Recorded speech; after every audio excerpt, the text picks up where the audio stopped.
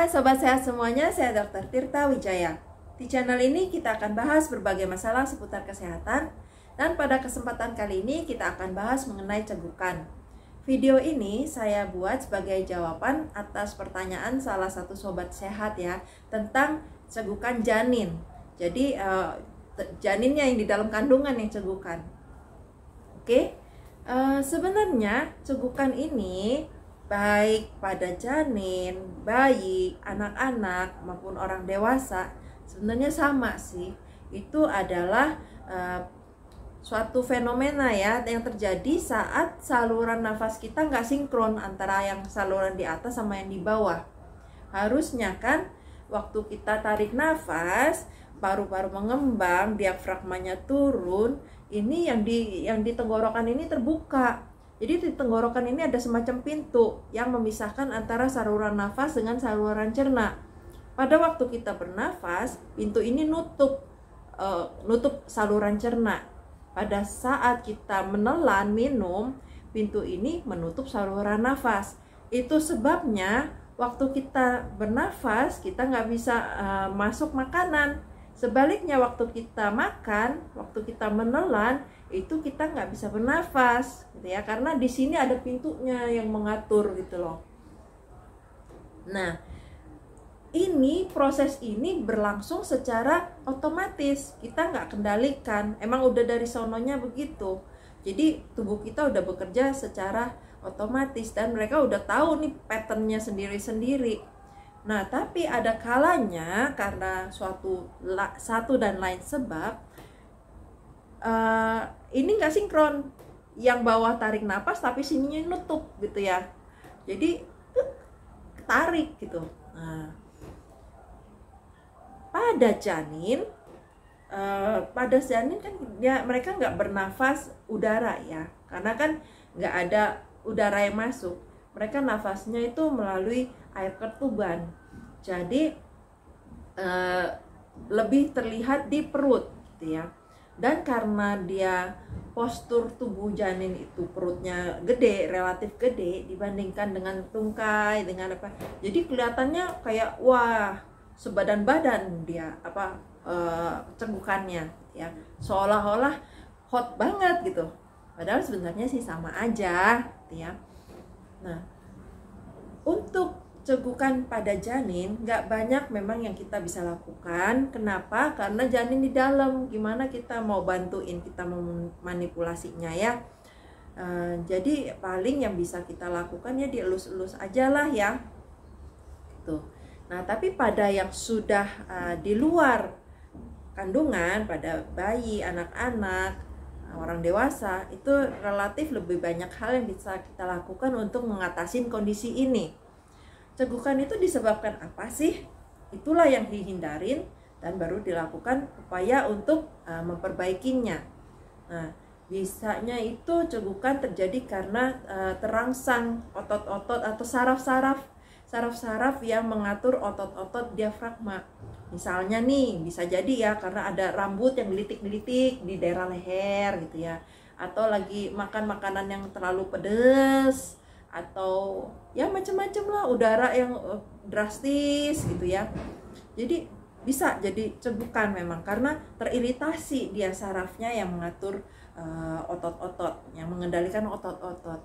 Nah tentu uh, dihentikan dulu penyebab uh, iritasinya kadang sih nggak dihentikan hilang sendiri kayak rambut lagi nggak sengaja uh, apa di sini terus tahu-tahu uh, bergerak lagi bisa aja sih Nah, terus kalau udah penghen, apa penyebabnya dihentikan, barulah kita melakukan uh, upaya untuk meriset, untuk mensinkronkan ulang si saluran pernafasan. Ya, supaya atas sama bawah sama. Istilahnya itu contoh kata seperti uh, orang lagi baris berbaris apa uh, gerak jalan gitu ya, baris-baris. Nah, kan baris-baris itu kan harusnya bareng kan, yang depan, di belakang, depan, belakang itu kan kakinya bareng gitu ya. Nah, tapi kalau misalnya ada satu satu dan lain sebab ada satu orang yang ngaco gitu, yang lainnya udah jalannya sama, simetri apa e, barengan, tapi ada satu yang ngaco, yang ngaco ini di, diminta berhenti dulu gitu ya. Diam dulu sebentar, liatin yang lain, baru ikutin. Atau kalau memang yang ngacoknya banyak bukan satu dua orang berhentikan dulu semua baru ulangi lagi dari awal. Bahaya nggak cara gitu? Enggak jadi kita menghentikan nafasnya bukan berhenti sampai mati gitu ya. Sebentar aja supaya uh, memberi kesempatan pada si uh, organ-organ kita ini yang di saluran pernafasan ini untuk sinkron. Caranya bagaimana macam-macam ada yang bilang suruh makan permen karet ada yang bilang suruh minum air anget ada yang bilang suruh wah macam-macam lah pokoknya. Uh, sebenarnya tergantung sih kalau memang itu manjur gitu ya. Maksudnya uh, memang dulunya udah pernah dicoba dan uh, bisa gitu ya. Nggak apa-apa fine fine aja. Ini kan karena uh, ada faktor sugesti juga bahwa oh cara begini akan berhasil akan diulangin lagi diulangin lagi nggak apa-apa fine tapi uh, kalau menurut saya pribadi uh, lebih aman kita manipulasinya tanpa menggunakan makanan atau cairan. Kenapa? Karena ingat di saluran nafas kita, di saluran pernafas apa makanan kita itu ada pintu yang uh, istilahnya mengatur ya. Jadi kalau kita manipulasinya dengan makanan atau minuman, takutnya resikonya itu uh, salah saluran. Kalau udara masuk ke saluran cerna sih nggak apa-apa paling keluarnya jadi sendawa jadi maaf ya buang angin gitu ya tapi kalau yang kita takut itu cairan atau makanan masuk ke saluran pernafasan. Itu uh, bisa panjang ceritanya. Gimana kita paru mau ngeluarin makanan atau cairan yang udah masuk? Susah gitu ya. Jadi kalau saat eh, nggak uh, beres gitu ya saat nggak sinkron kalau saya pribadi lebih sarankan untuk manipulasi dengan menggunakan udara aja.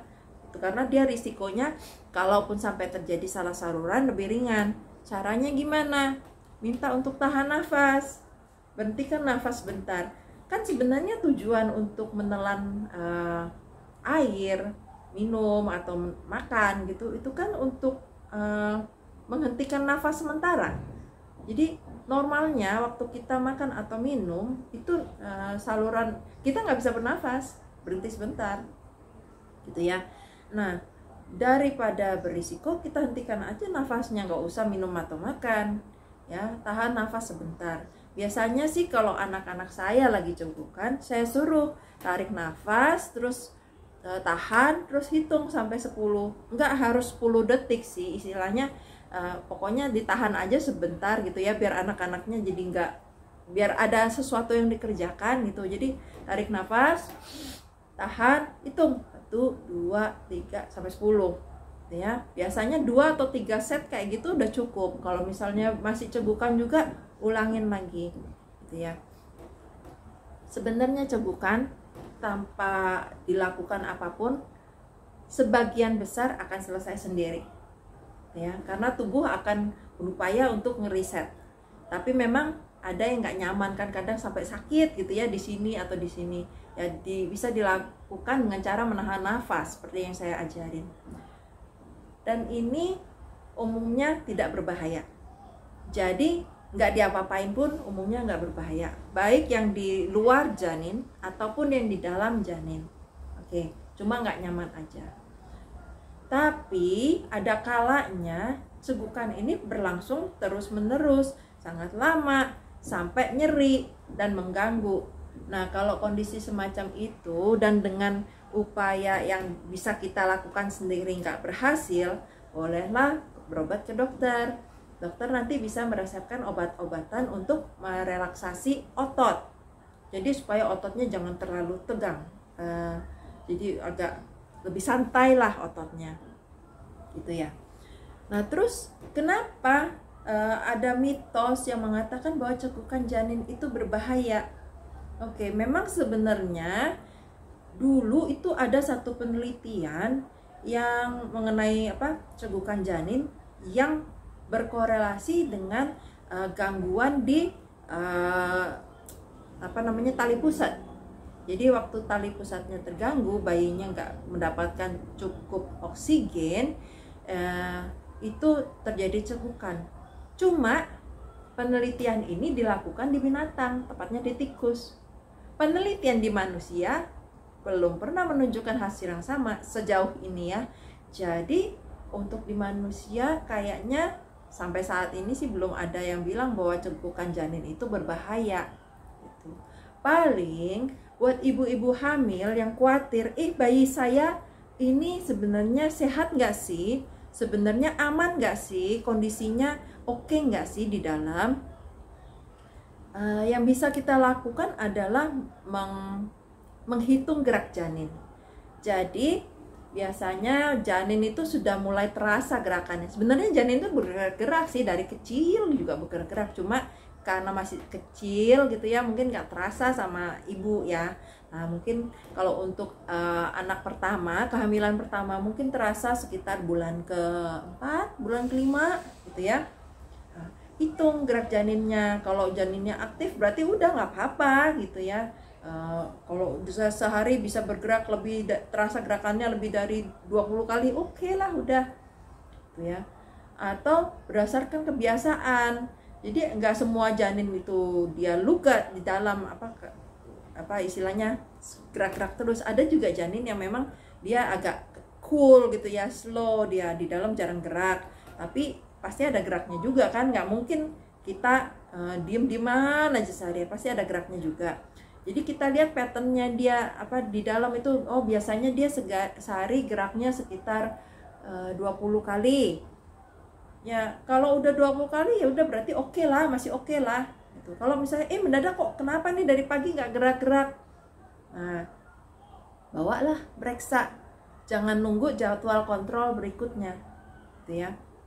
Uh, karena kita kan nggak tahu sebenarnya di dalam itu kenapa meskipun si janin nggak cekukan sekalipun tapi kalau dia bergeraknya sangat jauh berkurang atau bahkan berhenti bergerak apalagi kalau ibu ada uh, keluhan lain misalnya udah keluar cairan atau keluar darah dari jalan lahir atau sakit perut atau itu sebaiknya lebih baik uh, kita parno nggak apa-apa tapi ketakutan ke uh, kita periksakan kehamilan kita daripada sebaliknya.